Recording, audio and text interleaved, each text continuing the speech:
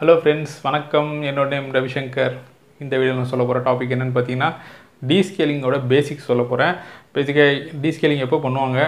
எப்படி எதுக்காக பண்ணுவாங்க? அதே மாதிரி அதுக்கு என்னென்ன கெமிக்கல் யூஸ் பண்ணுவாங்கலாம் கேட்டிருக்கீங்க. சில பேர் வந்து என்ன கமெண்ட் பாக்ஸ் இருந்துங்க பட் கெமிக்கல் அப்படின்னு பார்த்தீங்கன்னா அது கொஞ்சம் டிஃப்ரெண்ட்டான இதுதான். நான் அதை பற்றியும் சொல்லிடுறேன்.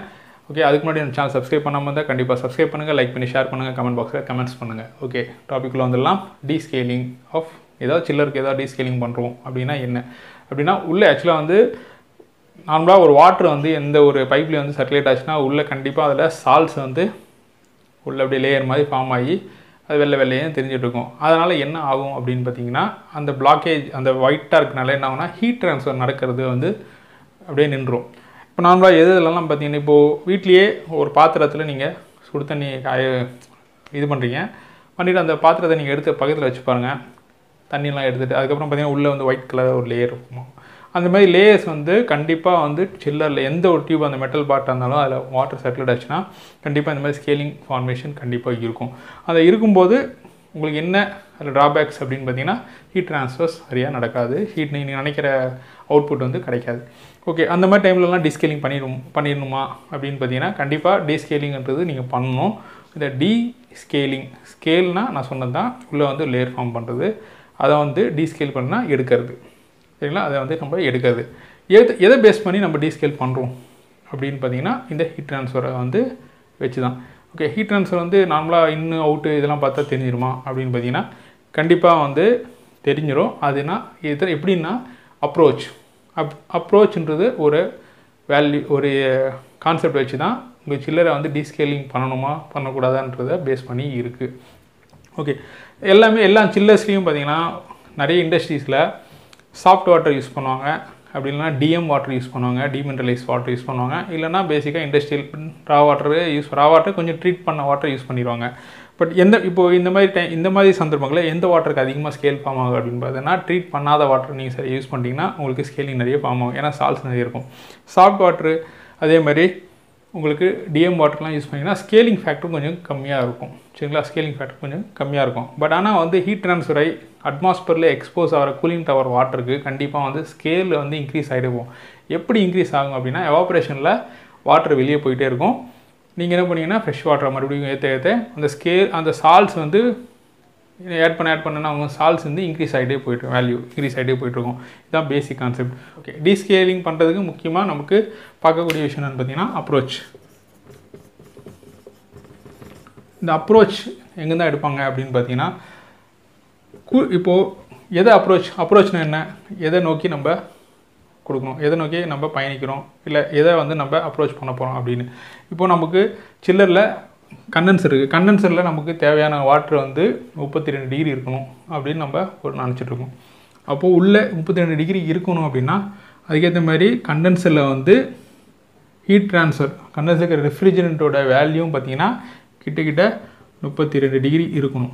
சரிங்களா? அப்போது இதை இதுக்கு இது இருக்கும்போது இதுக்கிட்ட வந்து நம்ம அச்சீவ் பண்ணணும். தேர்ட்டி டூ டிகிரி வாட்டர் இது ரெஃப்ரிஜரண்ட் சரிங்களா? இப்போது இதை ரெஃப்ரிஜரண்ட் தேர்ட்டி டூ தான் வாட்டரும் வந்து தேர்ட்டி டூவாக மாறும். அதுதான் வந்து அப்ரோச் பேசிக்காக வந்து எவாப்ரேட்டராக இருந்தாலும் சரி கண்டென்சராக இருந்தாலும் சரி எவாப்ரேட்டர் சைட்லலாம் பார்த்தீங்கன்னா two point two degree Celsius வரைக்கும் அப்ரோச் வந்து இருக்கலாம். அதுக்கு மேலே போயிடுச்சுன்னா நீங்கள் இந்த டீஸ்கேலிங் கண்டிப்பாக பண்ண வேண்டிய நிலமை வரும். அதே மாதிரி கண்டென்சர் அப்படின்னு பார்த்தீங்கன்னா three point two degree Celsius அந்த ரேஞ்ச் வரைக்கும் உங்களுக்கு அப்ரோச் வந்து போகலாம்.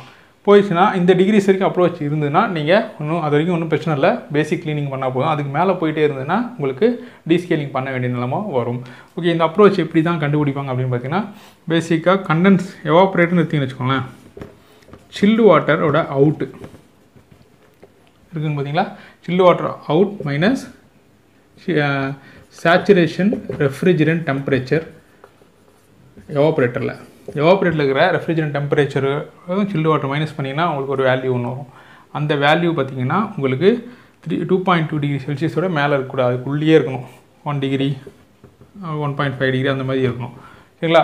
இதுவே கண்டென்சர்னு பார்த்தீங்கன்னா சேம் தான். Condenser water out minus refrigerant refrigerant of condenser கண்டென்சரில் இருக்கிற ரெஃப்ரிஜரண்ட்டோட வேல்யூவை நீங்கள் எடுத்திங்கன்னா உங்களுக்கு இதில் இருக்கிற உள்ளே வருது கண்டென்சர் உள்ளே வரும்போது டெம்பரேச்சர் வருது அது வெளியே போகும்போது உங்களுக்கு அந்த வேல்யூஸ் எடுத்து நீங்கள் பார்க்கணும். இந்த அப்ரோச்சோட வேல்யூ உங்களுக்கு தெரிஞ்சிடும் சரிங்களா? எவ்வளோ எவ்வளோ இருக்குது அப்ரோச் அப்படின்ட்டு. அந்த அப்ரோச்சை பேஸ் பண்ணி தான் உங்களுக்கு உங்களுக்கு டீஸ்கேலிங் ஆக்டிவிட்டியை நீங்கள் பண்ண வேண்டியது இருக்கும். கண்டென்சர்னால் ஒரு த்ரீ பாயிண்ட் டூ வரைக்கும் பண்ணலாம். இது எவாப்ரேட்னா டூ பாயிண்ட் டூ இது வந்து சில சைட் கண்டிஷன்ஸ் மாறும் சில எக்யூப்மெண்ட்டுக்கு மாறும். நீங்கள் பேசிக்காக இந்த மாதிரி நீங்கள் டீஸ்கேலிங் ஆக்டிவிட்டி பண்ணணும்னு நினச்சிங்கன்னா கண்டிப்பாக நீங்கள் எக்ஸ்டர்னலாக வந்து ஒரு டீஸ்கேலர்ஸை நீங்கள் கூப்பிட்டு அவங்க மூலியமாக நீங்கள் பண்ணிங்கன்னா உங்களுக்கு கண்டிப்பாக வந்து நல்லா எஃபெக்டிவாக இருக்கும். நீங்களே டீஸ்கேலிங் பண்ணணும் அப்படின்னா வந்து அந்த அந்தளவுக்கு எஃபெக்டிவ் வராது. இன்னொன்று அதில் நிறைய ட்ராபேக்ஸ் இருக்குது என்ன ட்ராபேக்ஸ் அப்படின்னு பார்த்தீங்கன்னா அதில் என்ன கெமிக்கல் யூஸ் பண்ணணும்னு உங்களுக்கு தெரியாது. அதே மாதிரி அந்த கெமிக்கல் எவ்வளோ நேரம் சோக் பண்ணணும் அந்த கெமிக்கலில் வந்து எவ்வளோ பிஹெச் இருக்குது அந்த கெமிக்கல் யூஸ் பண்ணால் அதில் எவ்வளோ அசடிக் வேல்யூ இருக்குது சப்போஸ் அந்த உள்ளே போய் மெட்டீரியல் என்ன மெட்டீரியலுக்கு என்ன கெமிக்கல் இதெல்லாம் வந்து நமக்கு ஆக்சுவலாக நமக்கு தெரியாது. இதெல்லாம் வந்து எப்படின்னா இதுக்குன்னே வந்து சம் எக்ஸ்பர்ட்ஸ் இருக்காங்க. அந்த எக்ஸ்பர்ட்ஸ் தான் வந்து இந்த டீஸ்கேலிங் ஆக்டிவிட்டிலாம் பண்ணுவாங்க. ஓகே பேசிக்ஸ் மட்டும் நான் சொல்லிடுறேன் பாருங்கள் என்ன கெமிக்கல் யூஸ் பண்ணுவாங்க அப்படின்னு பார்த்தீங்கன்னா பேசிக்காக ஆசிட் யூஸ் பண்ணுவாங்க. அது எப்படின்னா கண்டிப்பாக எல்லா க்ளீனிங் கெமிக்கல்ஸ்லையும் ஹெச்சிஎல் கண்டிப்பாக இருக்கும். அந்த ஹெச்சிஎல்ன்றது ஹைட்ரோக்ளோரிக் ஆசிட் அந்த ஆசிட் போட்டால் தான் நம்ம பாத்ரூம்ஸாக இருந்தாலும் சரி எந்த ஒரு இதாக இருந்தால் க்ளீனிங்னால் ஆசிட் ஊற்றிங்கன்னா க்ளீன் ஆகிடும் பார்த்தீங்களா அதான். ஆசிட் ரேஷியோ இருக்கும். கண்டிப்பாக ஹெச்சிஎல் இருக்கும். அதோடு சேர்த்து அதில் என்ன பண்ணியிருப்பாங்கன்னா சம் டிஜெட் டிட்டர்ஜென்ட் ஒன்று யூஸ் பண்ணியிருப்பாங்க சம் உள்ளே வந்து மறுபடியும் இதனால் வந்து மெட்டீரியல் எதுவும் போகாமல் இருக்கிறதுக்காக சம் கெமிக்கல் யூஸ் பண்ணியிருப்பாங்க இந்த மாதிரி அதே மாதிரி உள்ளே வந்து ஆன்டி ரஸ்டிங் ஆகாமல் ஒரு கெமிக்கல் யூஸ் பண்ணியிருப்பாங்க ஆன்டி ஃபவுலிங் ஒன்று யூஸ் பண்ணியிருப்பாங்க அது மாதிரி டிஃப்ரெண்ட் டிஃப்ரெண்ட் கெமிக்கல்ஸை வந்து ஆட் பண்ணி ஒரு ரேஷியோ ரேஷியோ ஆட் பண்ணி ஒரு மிக்ஸ் பண்ணி ஒரு கெமிக்கலாக வச்சுருப்பாங்க. சரிங்களா? இந்த ஆசிட்னால எந்த ஒரு பாதிப்பும் இருக்கக்கூடாது அப்படின்னு சொல்லி அதே மாதிரி ஸ்மெல் ஆசிடோட ஸ்மெல் அதிகமாகவும் இருக்கக்கூடாது. அந்த மாதிரி ஒரு கான்சன்ட்ரேஷன் பண்ண ஒரு லிக்விடை தான் வந்து கெமிக்கலை தான் வந்து டீஸ்கேலிங்க்கு யூஸ் பண்ணுவாங்க. ஓகேங்களா? இது வந்து பேசிக்காக கெமிக்கல் இது இருக்குது ஏன்னா எஸ்எஸ்க்கு செப்பரேட்டாக தனியாக இருக்கும். எம்எஸ்க்கு செப்பரேட்டாக இருக்கும். காப்பருக்கு செப்பரேட்டாக இருக்கும். டிஃப்ரெண்ட் டிஃப்ரெண்ட்டான மெட்டீரியலுக்கு டிஃப்ரெண்ட் டிஃப்ரெண்ட்டான ரேஷியோஸ் இருக்கும். பட் ஆனால் வந்து கண்டிப்பாக அதில் ஹெச்சிஎல் இருக்கும். யூஸ் பண்ணுற கெமிக்கலோட பிஹெச் வேல்யூ வந்து கிட்டத்தட்ட ஃபோர் அந்த ரேஞ்சில் மெயின்டைன் பண்ணுவாங்க. பிஹெச் வந்து ஃபோர் அந்த ரேஞ்சில் ரொம்ப அசிடிக் அந்த ரேஞ்ச் வந்து மெயின்டைன் பண்ணி உள்ளே வந்து சர்க்குலேஷன் பண்ணுவாங்க. பேசிக்காக அந்த டீஸ்கேலிங் பண்ணுற ப்ரொசீஜரில் ஃபஸ்ட்டு வந்து வாட்டர் கெமிக்கல் வாட்டரை வந்து ஃபில் பண்ணுவாங்க. அந்த வால்யூம்க்கு எவ்வளோ வேணுன்றதை பார்த்து அந்த வா வால்யூம் ஃபில் பண்ணுவாங்க. ஃபில் பண்ணிவிட்டு இதை சோக் பண்ணுவாங்க. சோக் பண்ணுறது வந்து கிட்டக்கிட்ட ஃபார்ட்டி ஃபைவ் மினிட்ஸ் அந்த ரேஞ்ச் வரைக்கும் சோக் பண்ணுவாங்க. சில இடத்துலலாம் வந்து டூ ஹவர்ஸ் எல்லாம் கூட சோக் பண்ணியிருக்காங்க. இந்த சோக் பண்ணதுக்கப்புறம் அதுக்கப்புறம் என்ன பண்ணுவாங்கன்னா மறுபடியும் அந்த வாட்டரை வந்து சர்க்குலேஷன் பண்ணுவாங்க. பம்ப் வச்சு உள்ளே சர்க்குலேட் பண்ணிக்கிட்டே இருப்பாங்க. அந்த சர்க்குலேட் பண்ணும்போது என்ன ஆகும் அப்படின்னு தெரியாதுன்னா இதோட பிஹெச் வேல்யூ ஃபஸ்ட்டு இனிஷியலாக வந்து பிஹெச் வந்து ஒரு ஃபோர் இல்லை த்ரீ அந்த ரேஞ்சில் மெயின்டைன் பண்ணுவாங்க. சர்க்குலேட் ஆகும்போது சர்க்குலேட் உள்ள ஸ்கேலிங்கெல்லாம் வந்து வெளியே வர வர இந்த பிஹெச் வேல்யூ வந்து ஃபைவ் சிக்ஸு செவன் அப்படி ஏறிக்கிட்டே போகும். இந்த மாதிரி ஏற ஏற ஏற என்ன பண்ணுவாங்கன்னா மறுபடியும் அந்த கான்சன்ட்ரேஷனை கொஞ்சம் கொஞ்சமாக மறுபடியும் கெமிக்கல் ஆட் பண்ணி ஆட் பண்ணி இந்த பிஹெச்சை வந்து மறுபடியும் ஃபோர் கின்னு கொண்டு வந்துட்டு அப்படியே வாட்டரை கொஞ்சம் ட்ரெயின் பண்ணுறது ஃப்ரெஷ் வாட்டர் ஏற்றுறது பண்ணிகிட்டே இருப்பாங்க. இந்த பிஹெச் வேல்யூ வந்து மெயின்டைன் பண்ணுவாங்க. அப்போ தான் வந்து பிஹெச்னா அசிடிக் நிறைய இருந்ததுன்னா உள்ள ஸ்கேலிங் வந்து சீக்கிரமாக வெளியே வந்துடும் சரிங்களா? இது மாதிரி soaking and circulation soaking and circulation ஒரு ரெண்டு மூணு தடவை பண்ணுவாங்க. பண்ணிவிட்டு அதுக்கப்புறம் என்ன பண்ணுவாங்கன்னா ப்ரஷிங் வெளியே எடுத்த அப்புறம் ஆல்ரெடி நான் ஒரு வீடியோ போட்டிருப்பேன் பாருங்கள் ப்ரஷிங் பண்ணுவாங்க. ஏன்னா ஓகே சில ஸ்கேலிங்கெல்லாம் வெளியே வந்துருச்சு. பட் ஆனால் உள்ளே பார்த்தீங்கன்னா இன்னும் ஒட்டிக்கிட்டு இருக்கும். அந்த சிலிக்கா சிலிக்கா அந்த மாதிரி கால்சியம் இதெல்லாம் வந்து ஒட்டிகிட்டு இருக்கும்.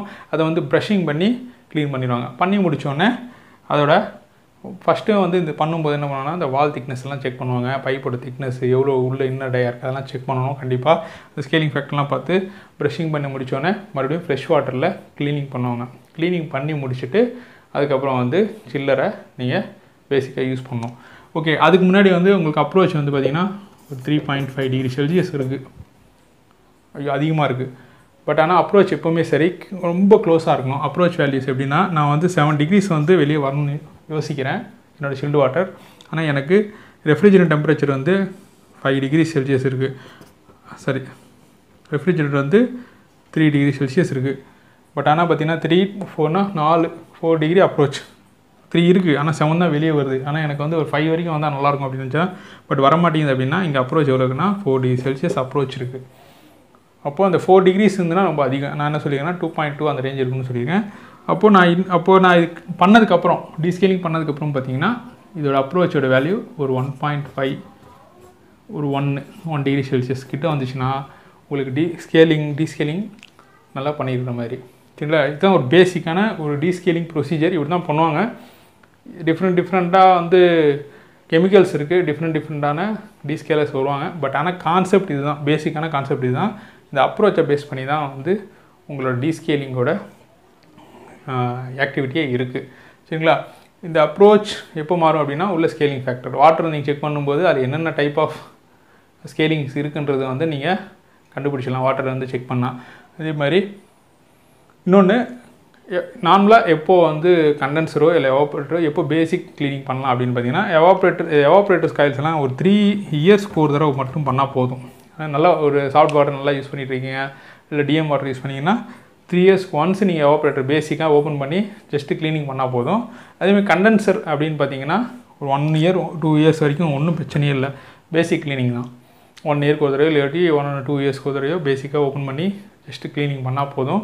இல்லை தண்ணி வந்து அடிக்கடி உங்களுக்கு பிரச்சனையாக இருக்குது தண்ணியில் வந்து பேராமீட்டர்ஸ் ரொம்ப அதிகமாக இருக்குது அதனால் வந்து டீவேஷன் இருக்குது அப்படின்னா நீங்கள் எவ்ரி ஒன் இயருக்கு சிக்ஸ் மந்த்ஸ்க்கு ஒரு தடவை இல்லாட்டி ஒரு தடவை கண்டென்சரோட இன்கவர்ஸ் ஓப்பன் பண்ணி பேசிக்கான ப்ரெஷ்ஷிங் பேசிக்கான க்ளீனிங் பண்ணிகிட்டே இருந்தீங்கனாலே உங்களுக்கு இந்த ஸ்கேலிங் வந்து அதிகமாக ஃபார்ம் ஆகிற இது இருக்காது. அதே மாதிரி ஸ்கேலிங்கே ஃபார்மேஷன் ரொம்ப கம்மியாக இருக்கும் அப்படின்னு பார்த்தீங்கன்னா கூலிங் டவரோட வாட்டரை நீங்கள் நல்ல குவாலிட்டியாக மெயின்டைன் பண்ணிங்கன்னா உங்களுக்கு இந்த ஸ்கேலிங் என்ற இஷ்யூ வந்து உங்களுக்கு ரொம்ப கம்மியாக இருக்கும். சரிங்களா? இதுதான் பேசிக்காக டீஸ்கேலிங்கோட பேசிக் கான்செப்ட்ஸ் சரிங்களா? இந்த டாபிக் உங்களுக்கு பிடிச்சிருந்தா நீங்கள் லைக் பண்ணி ஷேர் பண்ணுங்கள் அதே மாதிரி இதில் ஏதாவது டவுட்ஸ் இருந்தால் நீங்கள் கமெண்ட் கமெண்ட்ஸ் பண்ணுங்கள் என்னோடய சேனல் சப்ஸ்கிரைப் பண்ண மறந்துடாதீங்க. தேங்க்யூ